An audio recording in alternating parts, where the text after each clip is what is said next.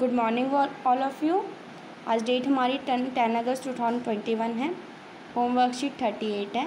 Subject हमारा maths and English है।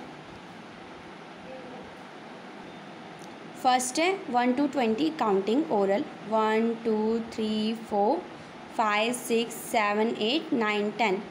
Eleven twelve, thirteen, fourteen, fifteen, sixteen, seventeen, eighteen, nineteen, twenty.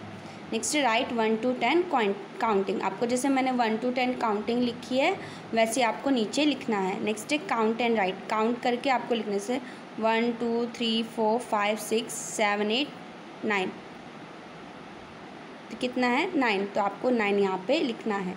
Next page पे चलते हैं। Next है oral A to Z A B C D E F आपको ये क्या करना है? पूरा पढ़ना है। नेक्स्ट है ए टू आई आपको ए टू आई जो है यहाँ पे लिखना है, जैसे मैंने लिखा है। फिलिंग द ब्लैंक्स आपको फिलिंग द ब्लैंक्स कंप्लीट करना है। ए और सी के बीच में क्या आएगा?